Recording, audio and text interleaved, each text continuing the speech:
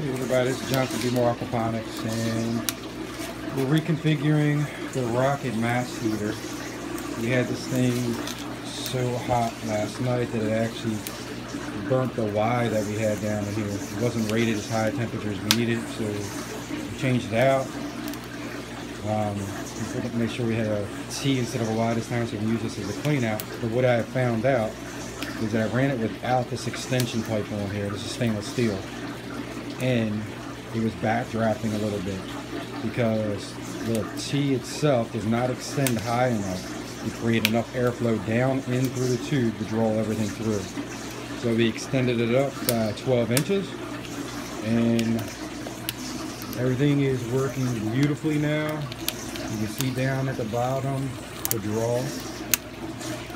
Um, no smoke inside at all.